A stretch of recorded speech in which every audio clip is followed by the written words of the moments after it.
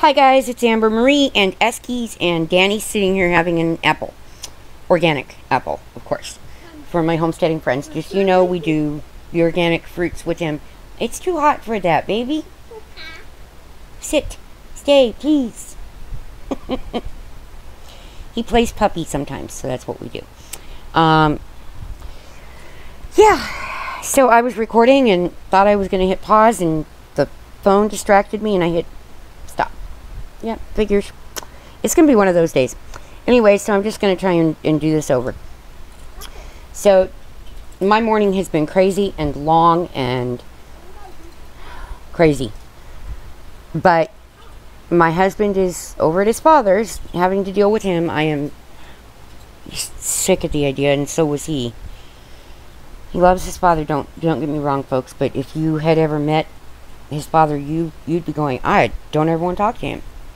What is wrong with him? I'm not kidding. It's just it's a horrifying situation, and without Kevin's mom there to try to buffer a little bit of Ed's mouth, um,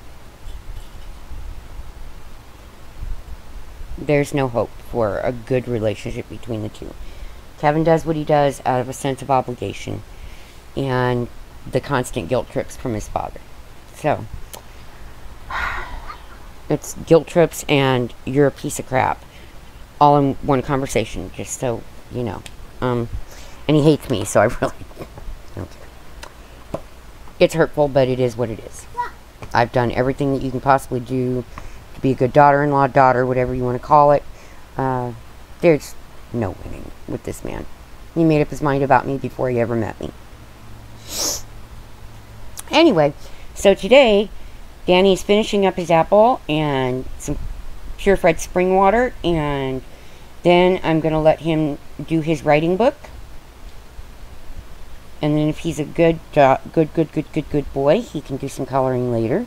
But Grandmama is going to get out the really good quality colored pencils, the Prismacolor Premiers, which I've had for decades, guys, because I was a published artist many, many, many years ago.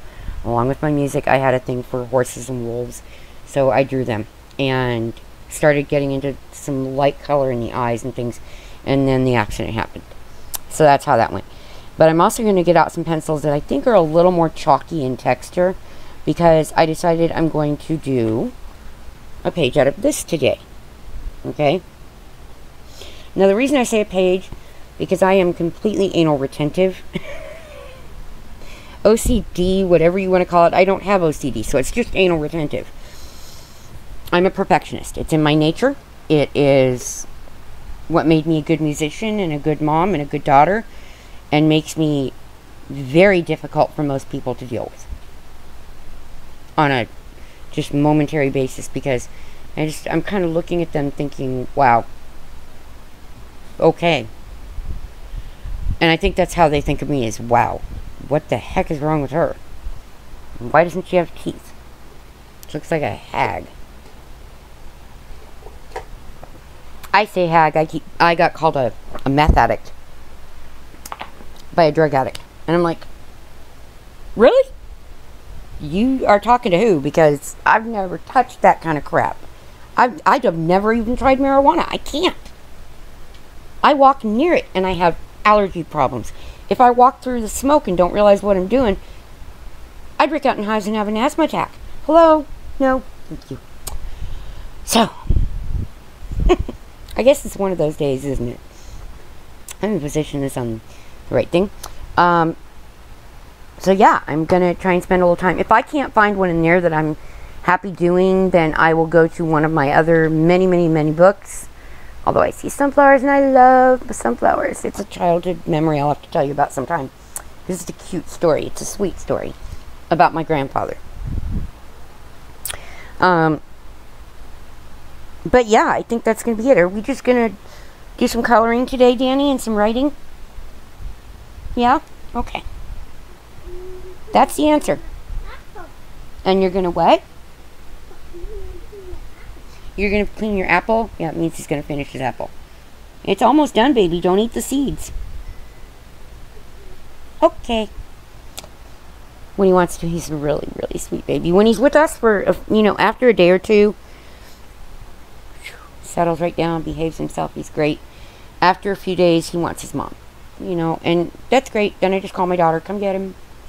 Your baby wants you, or come over here for a couple days, whatever you want to do, depending on your schedule. If you're not working those days, then you know what, come home to home, home, and have some mommy food. Mommy's gonna cook. If you're coming home, I'll cook. That's how I bribe her into coming home. no, no, no, baby. She's at work. Yeah. Okay, so, yeah, I think that's to be the day. I do. I don't know. There could be more, but I've already got grilled chicken breasts stuffed with asparagus and cheddar cheese, and yes, it is all homemade. My husband made them because he knows Bless you. Yes, I know. He knows that I love asparagus. I love asparagus. I wouldn't have chosen cheddar, but it's good. It's very good. It's just I wouldn't have thought of normal cheddar for that. So Danny, I don't understand. Do your book if you want to do your book. I let you use a pencil.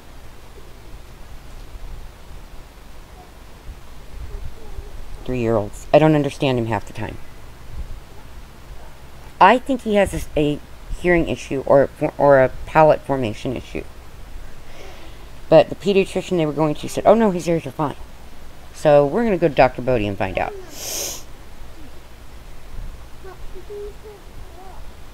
I have no idea what you meant. I'm working.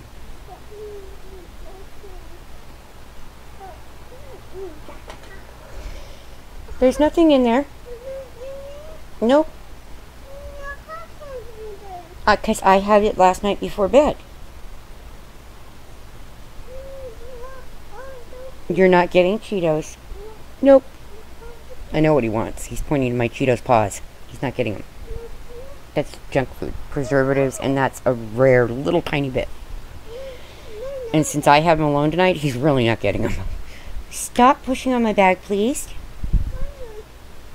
Hush, do your book.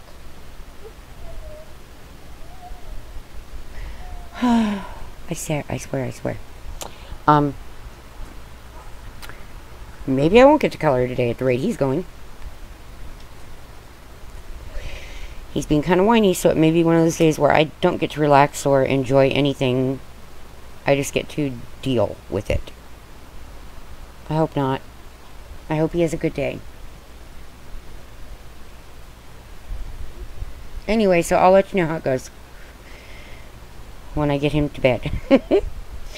for the rest of you, for everybody actually, my thoughts and prayers are with all of you. And I hope you have a wonderful Saturday and a great Easter with your families. And I hope you get to be with your families. This is the first year I don't get to be with any of my family. And it, it kind of sucks. So, and you're going to say, but your husband. No, he has to go to his father's tomorrow too, it turns out. because my father in law does not give two blessings about anybody else's desires or needs. It's, as I, and I'm quoting, all about him. Verbatim, it was, it's all about me. You are insignificant. To his son. He just said that to me and I'd have gone off. But that's, yeah, well, I'd have told him, no, you're 78 years old and you're on your way out. I still have a life to go. I have grandbaby to worry about. You have nothing to deal with. Just watch TV and hush.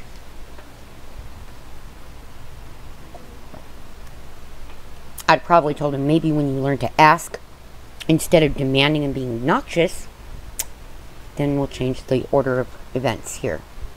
Because Kevin was going over there when he was behaving, and then when he started getting really mean again, Kevin just, it takes everything he has to get out of his bed to go over there or to muster up enough energy to get in the car.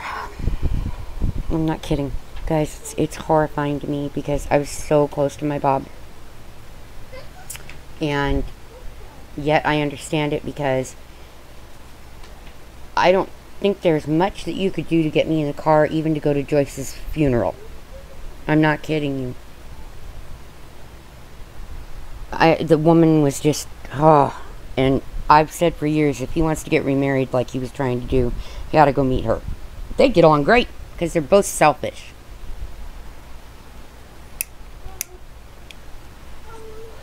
And they're both complete and utter narcissists. And she drives, so that'll work good. Um, anyway. Ooh, that just is a point of contention at the moment. I'm really sorry, guys. But I love you all, and I do hope you have a great, great, great Easter with your families. And I hope you have lots of goodies. Eat some ham for me, because I can't. And I love shank portion ham. Cook's brand shank portion ham is my favorite, and it's really hard to find out here. It used to be prevalent, but hmm, eras change. Sadly. Can we just go back to when I was, like, in the 80s when families gave a damn about each other?